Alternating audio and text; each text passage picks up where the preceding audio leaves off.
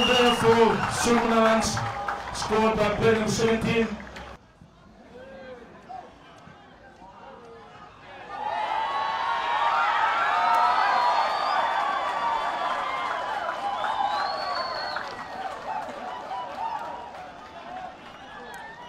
A goal there for Vanuatu scored by player number 9, Kenshi Tangis.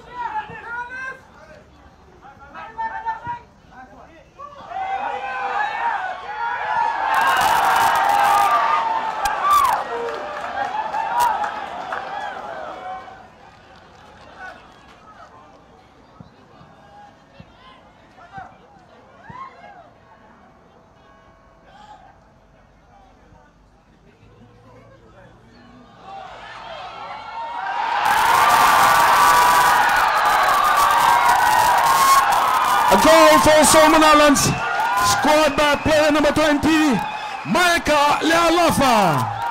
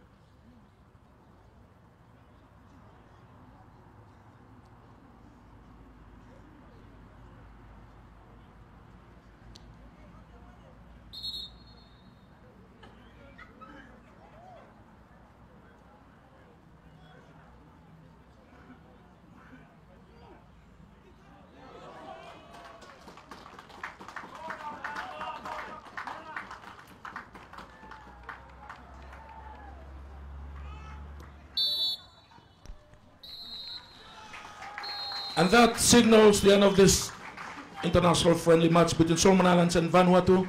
And the full-time score, Solomon Islands 3 and Vanuatu 1. Yeah, I was uh, positive in the first half. Disappointed we conceded the first goal, but uh, I like that we came back. We keep fighting to score the second. The second half, I knew it was going to be difficult because I would like to change many players, but unfortunately, with many situations, we only could bring one player extra on the bench. So every I knew players were starting to get tired. I could see the quality also, especially with the players who were coming in the second half for Solomon. They the level went higher, and it was tough for us. But again, we had a uh, chance cleared off the line. We had two, three really good chances.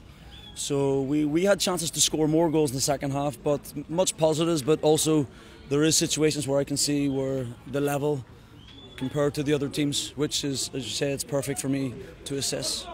It was an important win for us. Uh, you know, with the backdrop of negativity is going on in the in the, the media.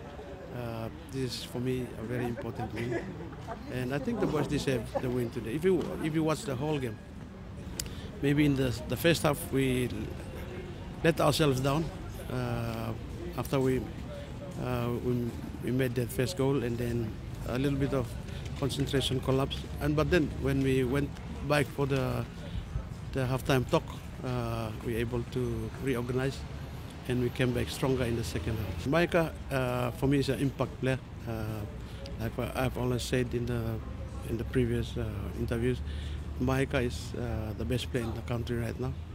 and and I'm happy that he is accepted to come uh, to join the boys.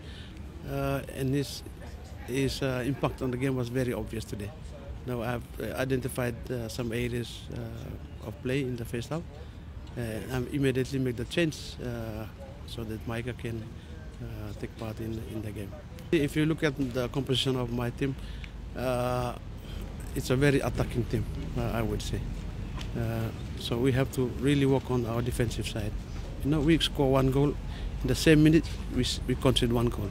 For me, that's uh, uh, a defensive blunder, uh, and we need to really work hard on our defense, uh, organizing uh, uh, after you know, dead ball situations. We have to work really work hard on this. Uh, playing against a different uh, side like Taiwan, who who are part of a much higher confederation.